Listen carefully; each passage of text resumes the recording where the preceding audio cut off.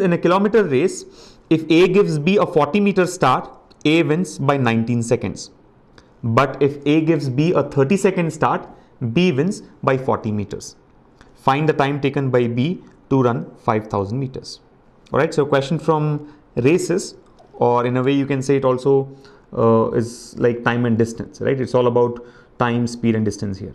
So, what does it say? It says in a kilometer race, basically, there's a running race here and the distance to be covered is 1 kilometer. So, in a kilometer race, if A gives B a 40 meter start, now this is very important uh, for us to understand? A gives B a 40 meter start. What does it mean? A gives B a 40 meter start.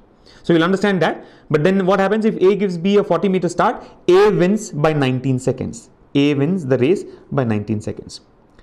Then there's one more situation here. It says if A gives B a 30 second start. See earlier A had given B a 40 meter start now A is giving B a 30 second start. A gives B a 30 second start. In that case, B wins by 40 meters. B wins by 40 meters. Alright. Now find the time taken by B to run 5000 meters. So basically we have to find out the time that B takes to cover a distance of 5000 meters. So that would depend on the speed. See if you have to find out the time, you got to know the distance and the speed. Distance is given here 5000 meters. Now the question is what is the speed of B? If you can find out the speed of B, then you'll be able to answer the question easily. So let's work on finding out the speed of the B. Understand the terms first, right? Understand the points given here, right? Like the first point, it says A gives B a 40 meter start. What does it mean? See, the race is for one kilometer, right? Let's say this is the starting point and this is the finishing point, right? The race is for one kilometer, which is 1000 meters, right? It is a 1000 meter long race. Now, A gives B a 40 meter start means what? A would actually be at the starting point, but B will be a little ahead of A, right? A is at this point, B is a little ahead of A. And B is how much ahead? 40 meters ahead, right? A gives B a 40 meter start means B is 40 meters ahead of A, already 40 meters ahead of A, right? B is 40 meters ahead of A. So this distance is 40. And then the remaining distance is 960. You're able to follow? This is the starting point where A is standing. In, in some point in between, B stands. And of course, this is the finishing point.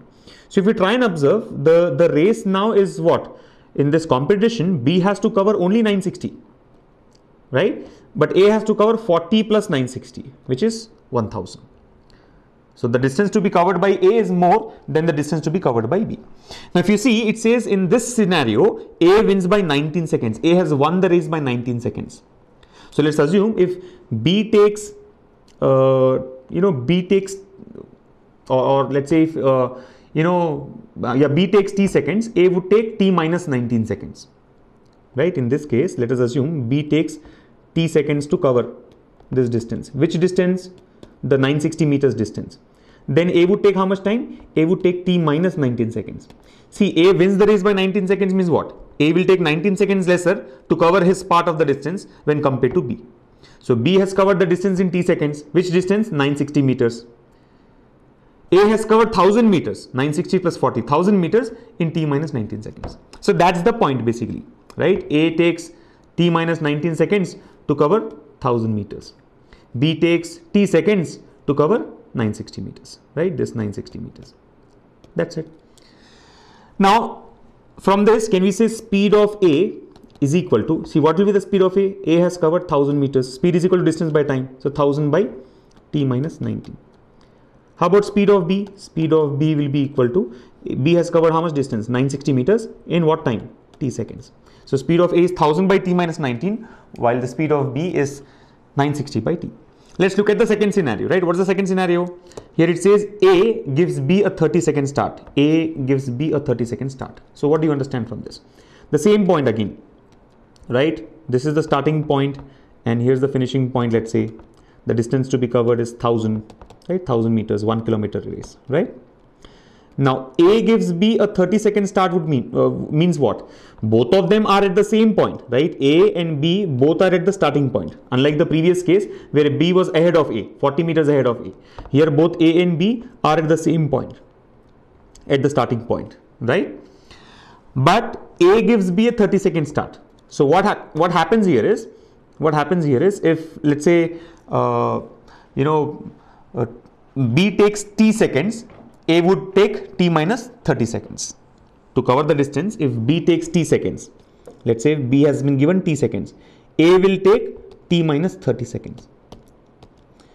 I mean, you can take it in two different ways, right? If B takes t seconds, A takes t minus 30, or if A takes t seconds, then B would take t plus 30 because B has been given 30 seconds extra when compared to A.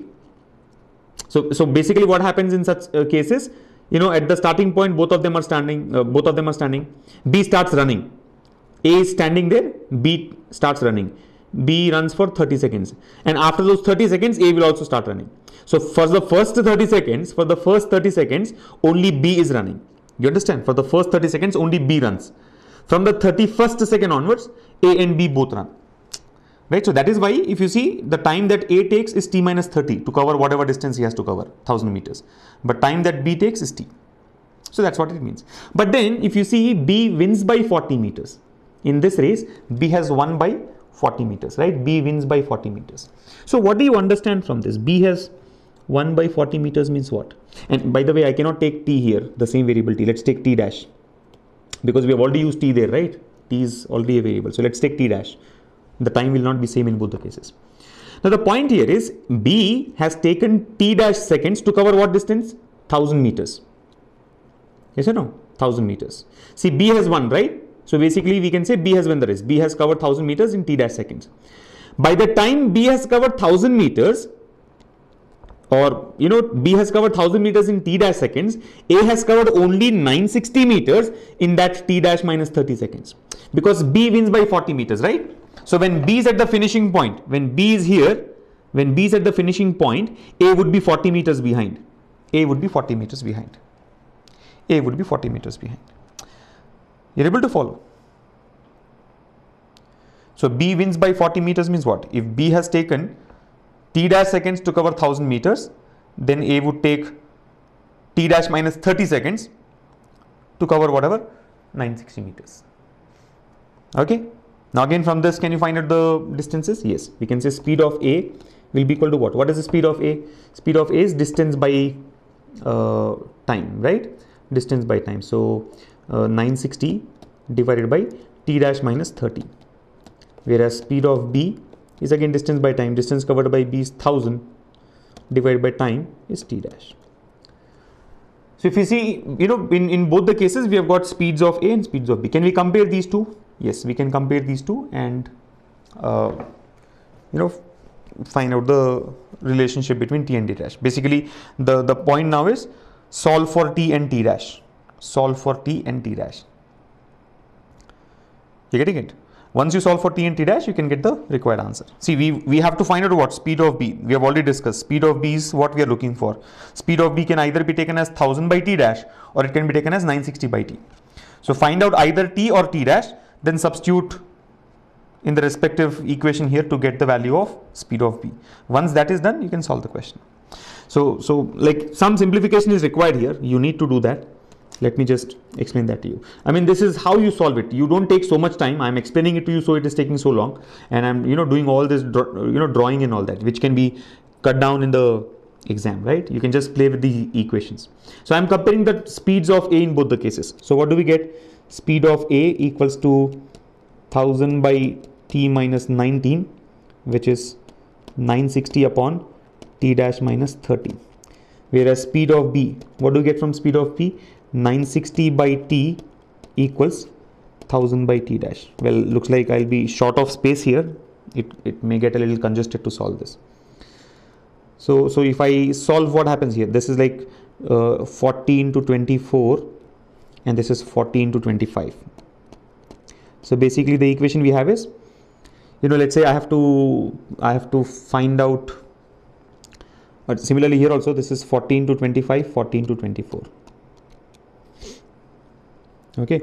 So so from the speed of b equation i can say t dash t dash is equal to 25t upon 24 t dash is equal to 25t upon 24 right let's substitute that in the equation that we have here. So i'm looking at speed of a again. What happens? 25 into see i'm cross multiplying. This cross multiplying right? 25 into t dash minus 30 right? 25 into t dash minus 30 but t dash can be taken as 25t by 24 minus 30 which is equal to on the right hand side we'll have 24 into t minus 19 24 into t minus 19 is 24 into uh, 24t into 24 into 19 all right. I repeat we are cross multiplying the speed of a i mean the equations on speed of a. So 25 into t dash minus 30 25 into t dash minus 30 we have got t dash as 25t by 24 minus 30 equals 24 into t minus 19 so 24 into t minus 19 is 24t minus 24 into 19 now solve for this. You'll get the value of t. From this you'll solve for t. Whatever is the value of t substitute in the speed of b. Right? Whatever you value, value of t you get here substitute here to get the speed of b. Once you get the speed of b, then the question is almost done. Now let me solve this, right? I'm, I'm like cutting down a few steps. You just have to solve it yourself. So what happens here? 25 into 25, 625t by 24 minus 24t, right? So 25 into 25, 625, 24 into 24 is 576. So I'll have 49t. So from this, we will get 49t divided by 24 equals to this 25 into 30 is 750 it goes on the other side it becomes plus 750 and 24 into 19 so 750 minus 24 into 19 24 into 19 is what? Uh, 456 so 750 minus 456 will be 294 294 yeah.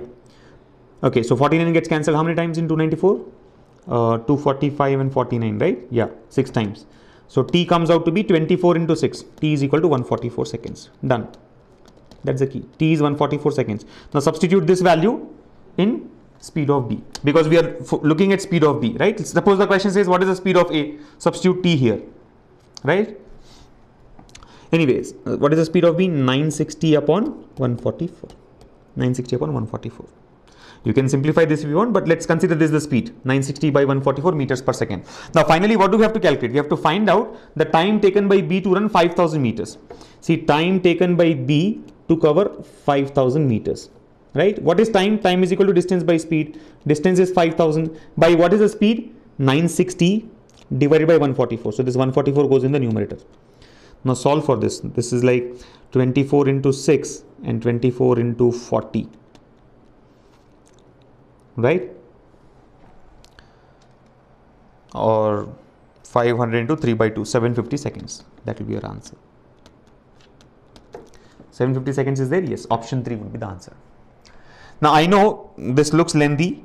It is time consuming but that's how you deal with it. Not every question will have a shortcut or a uh, you know or a smart way to arrive at the answer. Some questions have to be solved using the regular method. Of course, it won't take as much time as we have spent here because I was not solving it, I was explaining it. When you do it yourself, you can cut down a lot of these things and just play with the equations. Okay? So that's about it. I think the answer is option 3, 750 seconds. And all those who have got it are correct.